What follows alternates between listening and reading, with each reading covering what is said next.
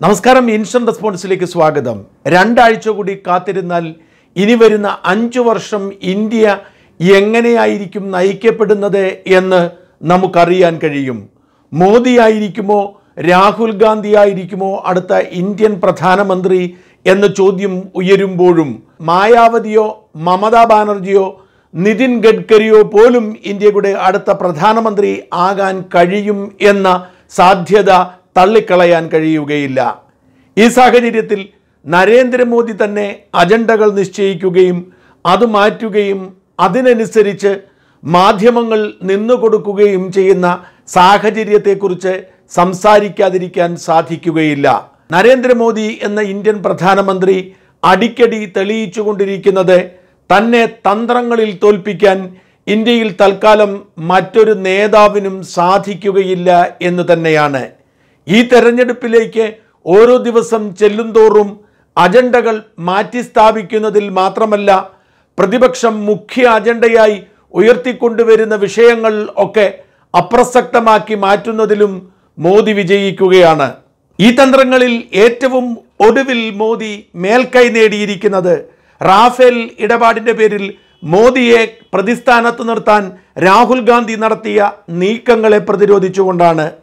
അതൊരു വലിയ അഴിമതിയാണ് എന്ന് സമ്മതിക്കേണ്ട സാഹചര്യം ഉണ്ടായപ്പോൾ അതിനേക്കാൾ വലിയ അഴിമതി കാട്ടിയ അച്ഛനായ രാജീവ് ഗാന്ധിയുടെ പേര് പറഞ്ഞുകൊണ്ടാണ് മോദി നേരിടുന്നത്. രാജീവിന്റെ പേര് പറഞ്ഞ് വോട്ട് ചോദിക്കാൻ പറ്റുമോ എന്ന നീചമായ ചോദ്യം വരെ ഒടുവിൽ മോദി ചോദിച്ചിരിക്കുന്നു. അതായത് തന്ത്രങ്ങളിൽ രാഹുൽ ഗാന്ധിക്കെന്നല്ല ഇന്ത്യയിൽ ജീവിച്ചിരിക്കുന്ന ഒരു നേതാവിനും മോദിയെ നേരിടാൻ കഴിയുകയില്ല എന്ന പ്രഖ്യാപനമാണ് മോദി നടത്തിയിരിക്കുന്നത്. ഇതുവഴി രാജ്യം നേരിടുന്ന വലിയ ചോദ്യങ്ങൾക്കുള്ള ഉത്തരം നൽകാനുള്ള ഉത്തരവാദിത്വത്തിൽ നിന്ന് പോലും മോദി നൈസായി ഒഴിഞ്ഞു മാറുന്നു അതായത് മോദി വിരുദ്ധമായ ഒരു വികാരം രാജ്യത്ത് രൂപപ്പെട്ടു വന്നതും ഉപതെരഞ്ഞെടുപ്പുകളിൽ തോറ്റതും ഒക്കെ കർഷകരുടെ രോഷവും സാധാരണക്കാരന്റെ രോഷവും അസഹിഷ്ണുതയും ഒക്കെ കൊണ്ട് തന്നെയായിരുന്നു.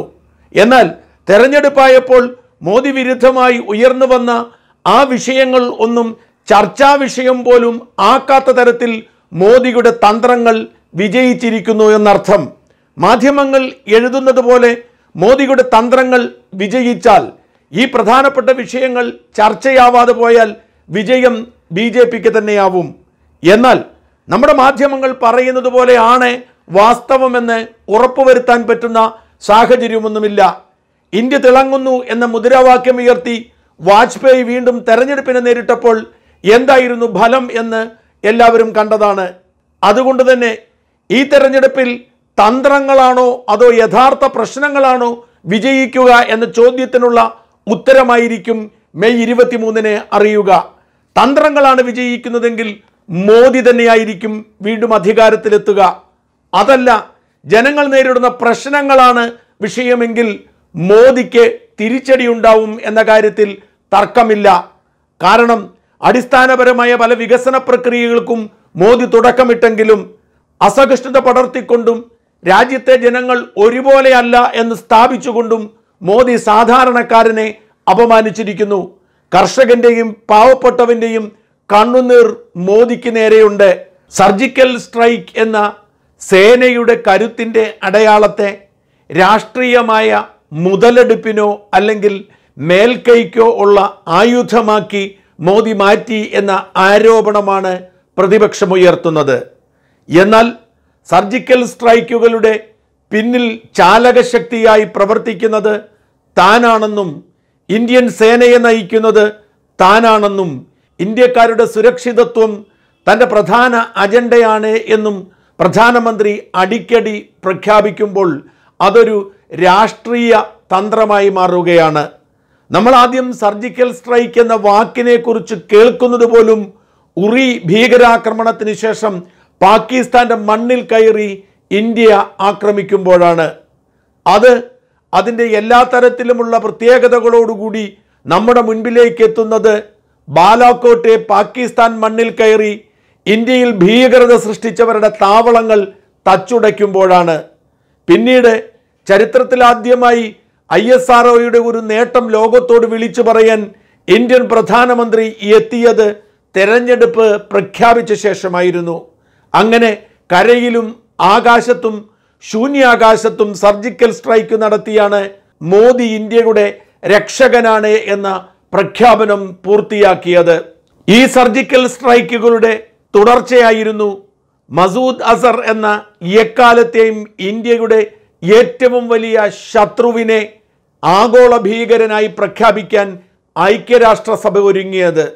എന്തുകൊണ്ടാണ് തെരഞ്ഞെടുപ്പ് നടക്കുമ്പോൾ ഐക്യരാഷ്ട്രസഭ ഇങ്ങനെയൊരു തീരുമാനത്തിൽ എത്തിയത് എന്ന ചോദ്യം സ്വാഭാവികമാണ്.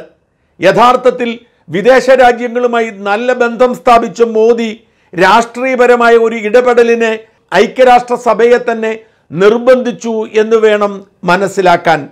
അല്ലെങ്കിൽ ഇന്ത്യയുടെ ഉറ്റ സുഹൃത്തായ റഷ്യ തെരഞ്ഞെടുപ്പിന് തൊട്ടു മുൻപിൽ മോദിക്ക് ആ രാജ്യത്തെ പരമോന്നതമായ പുരസ്കാരം നൽകുമായിരുന്നില്ല.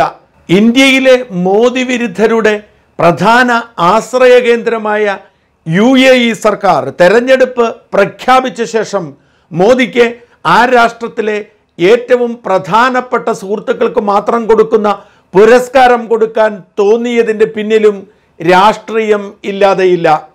നരേന്ദ്രമോദി എന്ന ഭരണാധികാരി ലോകം മുഴുവനുള്ള രാജ്യങ്ങൾ സന്ദർശിക്കുകയും ആ രാജ്യങ്ങളിലെ ഭരണാധികാരികളുമായി മികച്ച ബന്ധം പുലർത്തുകയും ചെയ്തു എന്നത് നിസ്തർക്കമായ സത്യമാണ്.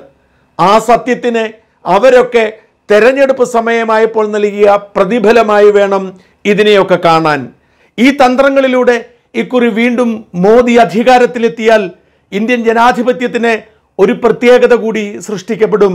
ഭരണാധികാരികൾക്ക് എന്തുമാവാം തെരഞ്ഞെടുപ്പാവുമ്പോൾ കൃത്യമായ തന്ത്രങ്ങൾ പ്രയോഗിച്ചാൽ വീണ്ടും വിജയം ഉറപ്പിക്കാമെന്നത്. പണ്ട് സി പി എമ്മുകാർ സമാനമായ ഒരു തന്ത്രം പരീക്ഷിച്ചിരുന്നു.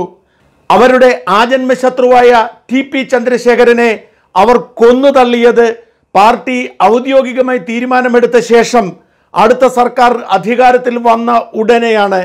അഞ്ചു വർഷം കൊണ്ട് അതിന്റെ അനുരണനങ്ങൾ ജനങ്ങൾ മറക്കുമെന്നും ഭരണവിരുദ്ധ വികാരമായിരിക്കും മുൻപിൽ നിൽക്കുക എന്നും അവർ തിരിച്ചറിഞ്ഞ് നടത്തിയ ആ കൊലപാതകത്തിൽ ആ തന്ത്രം വിജയിച്ചു. അത് കഴിഞ്ഞ തെരഞ്ഞെടുപ്പിൽ അവർ വലിയ ഭൂരിപക്ഷത്തിൽ അധികാരത്തിലെത്തി. അതുകൊണ്ട് മോദിയുടെ വിജയവും പരാജയവും ഇന്ത്യൻ ജനാധിപത്യത്തിൽ നിർണായകമാണ്.